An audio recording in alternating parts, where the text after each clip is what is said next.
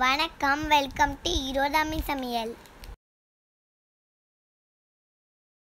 தேவையான பொருட்கள் வந்து பூண்டு ஒரு பதினஞ்சு இருபது பல் பூண்டு கொஞ்சம் இஞ்சி ஒரு பட்டை ஒரு நாலு கிராம்பு அரை ஸ்பூன் சோம்பு.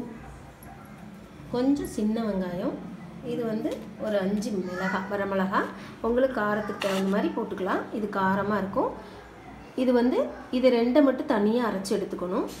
இது எல்லாத்தையும் போட் போட்டுக்கா இதை தனியாக அரைச்சி எடுத்துக்கணும். கால் கிலோ மட்டன் எடுத்துருக்குறோம். இப்போ இதுக்கு தாளிக்கு ஆயில் விட்டுக்கிறோம்.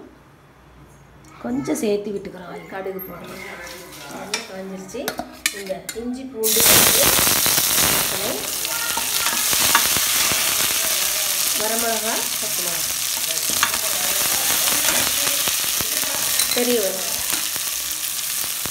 இப்போ சின்ன வெங்காயமும் வரமிளகாயமும் அரைச்சி வச்சுருக்கிறது போதும்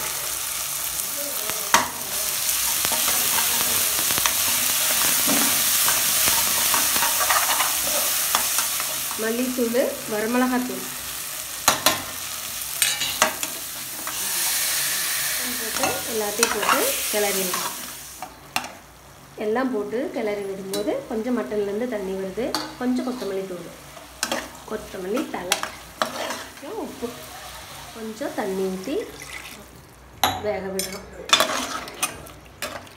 இப்போ மூடி போட்டு வெயிட் போட்டு நம்ம சவுண்டு விடலாம். ஒரு மூணு சவுண்டு மட்டன் வேகிற அளவுக்கு நம்ம ஒரு மூணு சவுண்டு அஞ்சு சவுண்டு விட்டால் போச்சு இப்போ சவுண்டு வந்துருச்சு. ஓப்பன் பண்ணுறேன் இது வந்து எண்ணெய் மட்டன் குழம்பு. எவ்வளோ நல்லா வந்திருக்கு பாருங்கள் இது வந்து சப்பாத்திக்கு சாப்பாட்டுக்கு எல்லாத்துக்கும் சாப்பிட்லாம். இட்லி தோசைக்கு சாப்பிட்லாம். இது நீ இந்த மாதிரி செஞ்சு சாப்பிட்டு உங்களுக்கு இந்த வீடியோ பிடிச்சிருந்தா ஈரோட அம்மி சமையலுக்கு லைக் பண்ணுங்கள் ஷேர் பண்ணுங்கள் சப்ஸ்கிரைப் இந்த வீடியோ பிடிச்சிருந்ததுன்னா ஈரோட அம்மி சமையலுக்கு லைக் பண்ணுங்க ஷேர் பண்ணுங்க சப்ஸ்கிரைப் பண்ணுங்க. பபாய்